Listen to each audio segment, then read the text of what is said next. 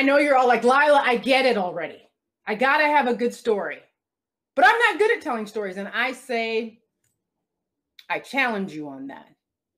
All of us know how to tell a story. If you can read a story, you can tell a story. Your delivery may not be super smooth, but you can tell a story. And you know what? That is a skill that you can build on. That is something that you can learn.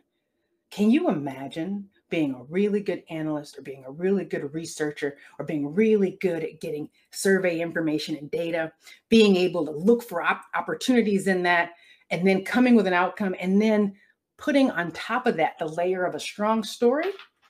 You will be unstoppable. You will be unstoppable. Hashtag I am ready for a raise and this is my fee. That is a very rare combination of skills to get in one person.